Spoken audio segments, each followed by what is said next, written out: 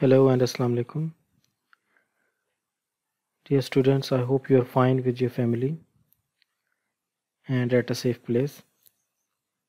Today we are formally going to start uh, the video tutorials of our course Partial Differential Equation. I have tried to explain the material and the stuff of the course uh, with the video uh, lecture. So this is our first video and it will be uploaded on YouTube channel which I will uh, uh, tell you later in, in the same lecture. So this is my first attempt uh, for the video lectures and uh, I hope I will be able to explain you each and everything regarding the course. So let's formally start uh, our first uh, lecture of video tutorials. The lecture name which I have written is partial differential equation with the same name as we are learning the course. So what you will do in this lecture? Uh, in this lecture you will formally start how to solve linear first order partial differential equations. But before that you will be able to learn uh, the different types of partial differential equations and their classification. But we will only focus our attention towards first order partial differential equations. So in order to start uh, let's uh, go back and uh, recall what we had studied before the vacations about partial differential equations. I will try to uh, re uh, capture that uh, knowledge so this is our lecture description we shall study first order linear quasi-linear and nonlinear partial differential equations PDEs and their methods that how can we solve them. So an important method which will be later called method of characteristics will be explained for these equations but today we will only focus on linear first order partial differential equation and their method of characteristics. And what this method uh, do it reduces the partial differential equation to solving an ordinary differential equation system of characteristic curve which are in the linear case 3 so we will be having a PD which is linear first order. And when we apply method of characteristic we need to solve ordinary differential equation system of three. uh, linear equations. And that we have done previously in the lectures uh, before the vacations if you remember we had uh, completed two methods method 1 and method 2 that how can we solve characteristic equation of differential equations. So a first order partial differential equation in two independent variables x and y which we will denote formally in the video tutorials can be written as function any function of x y and z partial z over partial x and partial z over partial y equal to 0 so this is the symbolic representation of first order partial differential equation mathematically for convenience we write partial z by partial x as p and partial z by partial y as q. You all know that. Uh, just this uh, this notation has been used just for the convenience. Now why we study partial differential equation or one can ask you what is the motivation to study PDEs for that uh, I have derived uh, one example that uh, if we have a set of all spheres with the center on z-axis then what is the characteristic partial differential equation which will be studied for the dynamics or for all the properties of the sphere? So in order to study the basic properties or dynamics of the sphere you only need to focus on one partial differential equation namely yp minus xq equal to 0 so there are first first question is that that how can you derive this equation and uh, second equation that second is that uh, uh, what the what are the methods that can be employed to derive the partial differential equation of any physical phenomena or uh, given conditions.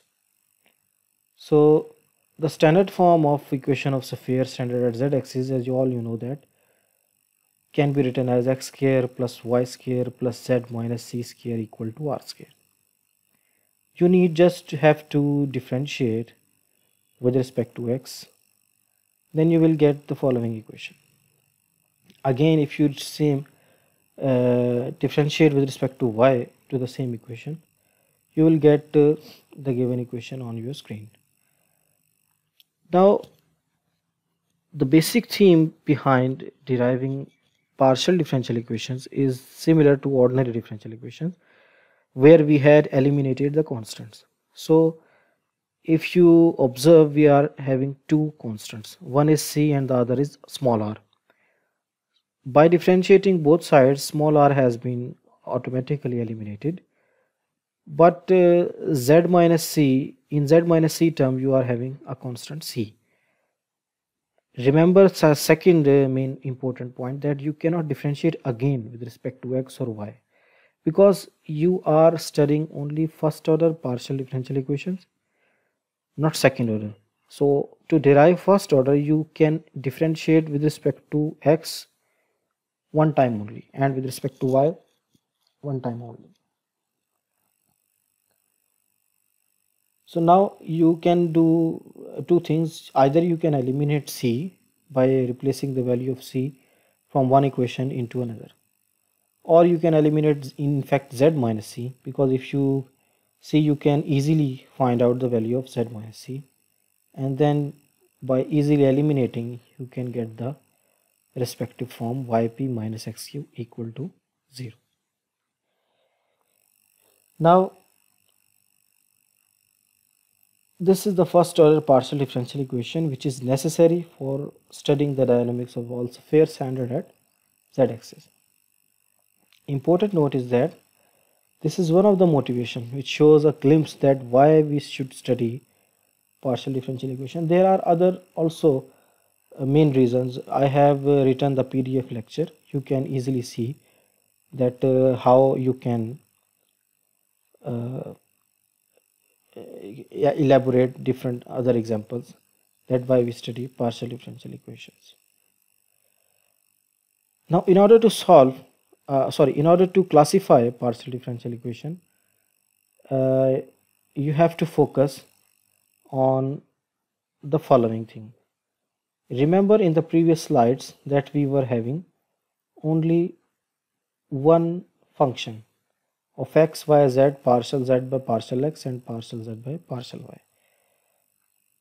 based upon this function we can actually classify different types of partial differential equations of first order. How can we do that? For example, that uh, the equation which you are having is equation 1 and if that equation depending upon the function f can be written as a function of xy b function of xy as a linear combination of zx zy and z and you are uh, also considering the non-homogeneous case on the right hand side d of xy. Then this type of equation, equation 2 is known as linear first order partial differential equation. Remember that these uh, functions a of x y b of x y c of xy and d of xy they are continuous and their first order partial derivatives are also continuous. Continuity in the sense of uh, two variable function I mean they are having the domain r uh, omega which we had studied earlier in the previous classes uh, which is subset of r square and uh, continuity in the sense of two variables.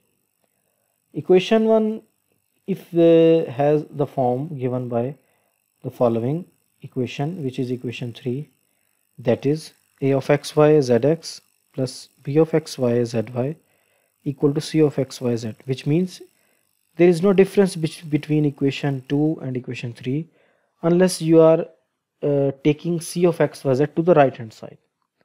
So this type of equation in the literature is known as semi-linear first order partial differential equation. Now similar to that if you are having equation 1 as a of x y z partial z by partial x plus b of x y z and equal to c of x y z then it is known as quasi-linear partial differential equation. Okay examples. For example point of view you can easily see the following example.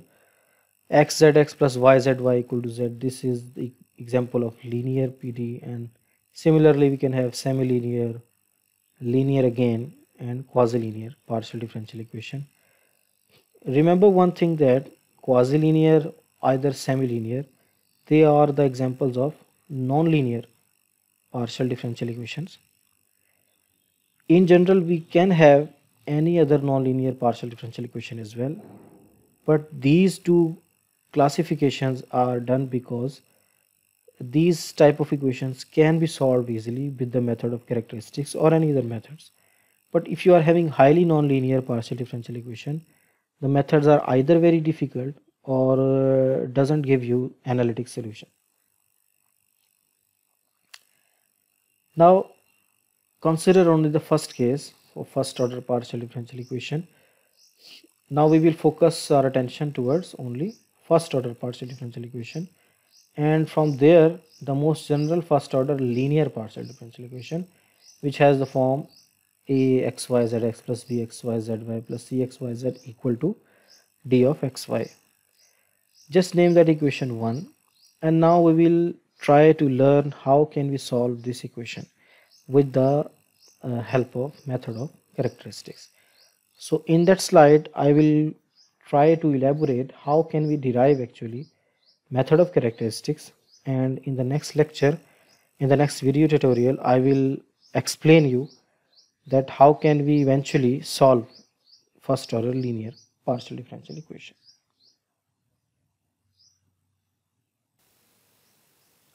Okay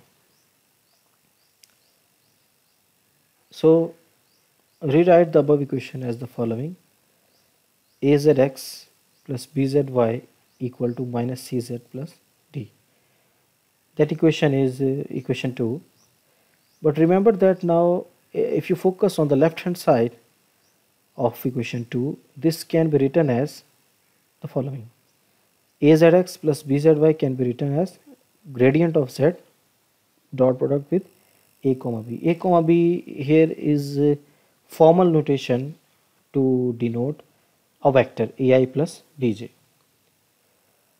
but again if you observe a is function of xy b is function of xy so ai plus bj will be a new vector for unique values of xy so as xy varies a of xy comma b of xy as a vector will give you a new vector or unique vector for unique values of x and y therefore a of xy comma b of xy can be regarded as a vector field. And if you recall the previous lectures before the vacation, this vector field will have uh, integral curve which need to be determined by the set of ordinary differential equations. What are the ordinary differential equations? Recall that uh, earlier we had written the differential equations for characteristic curve as dx over dt is p of x y z dy by dt as u of xyz and dz by dt as r of xyz. This is done in the previous classes. So now what we will write now, remember that axy and bxy are the components of vector field and you are trying to write differential equations for characteristic curve. So dxy by dt will be equated as a and dy by dt will be written as b of xy. So actually system 4 will be called differential equations for characteristic curve or characteristic equations. You can name anyone you want. Equation 4 determines the family of curves x of t and y of t. And what are these family of curves? These are those family of curves whose tangent vector how can you calculate uh, tangent vector parametrically by dx by dt and dy by dt coincides with AB I mean to say that AI plus BJ okay.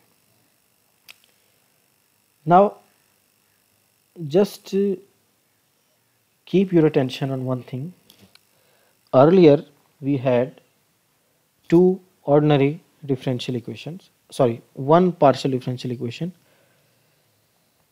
which is in the equation 1 eventually we have got two ordinary differential equation dx by dt and dy by dt.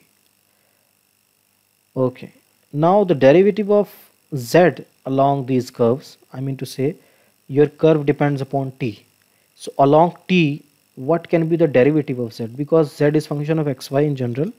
X and y are functions of t now. So how can you derive dz by dt? Uh, you use chain rule so you can write dz by dt as partial z by partial x partial x by partial t.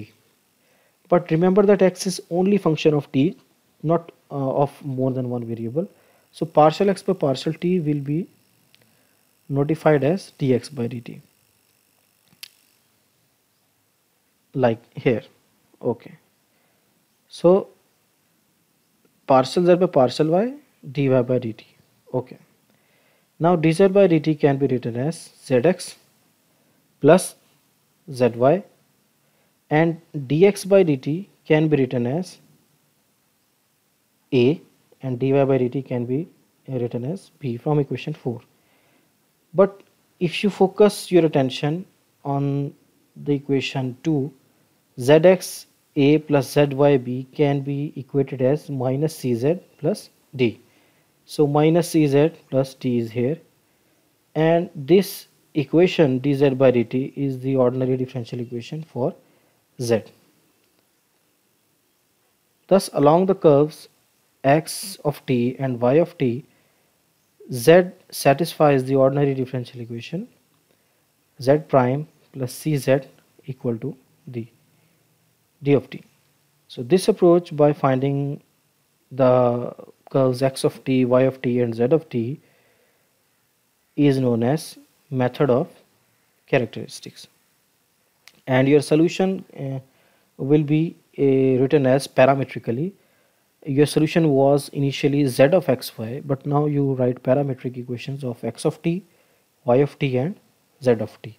So if you eliminate t and write z in terms of xy uh, this approach is known as uh, uh, writing your solution as in the form of xy so we will do that uh, in in the later examples. But uh, just uh, to focus your attention this is actually the method of characteristics. This is the main idea main focus that how can you explain or how can you uh, go through with the method of characteristics. But remember one thing that for solving first order linear partial differential equations what you have done you are solving three first order linear ordinary differential equations. So this is quite interesting by the method of characteristics that if you are going to solve partial differential equation linear first order you are having you need to solve three ordinary differential equations linear and they are also first order. So in the next lecture I will try to solve uh, uh, first order linear partial differential equation. And we will do some example as well with this method. But uh, just for now keep your focus on the method on the description. Just see how you learned that lecture video tutorial. And uh, I will upload this lecture on YouTube. Uh, the lecture uh, the the the video YouTube channel name uh, is uh, mind your mathematics. This will be shared with you on WhatsApp. And just go and subscribe the channel with the name mind your mathematics. So thank you very much for your attention. And uh, if you like the lecture please share the video and subscribe to the channels. I will share also the practice problems as a pdf file this whole lecture as a as a pdf file. Thank you very much